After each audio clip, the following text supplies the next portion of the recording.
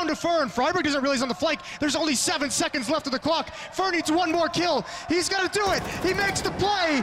SK Gaming he needs to hold on for one more second, and they've made it into the grand finals. SK move forward. We will have a Brazilian team here in Brazil itself for the grand finals, and their challenger will be determined in just a little bit. Cloud9 and mousesports, your opponent is now set, and it will be SK Gaming.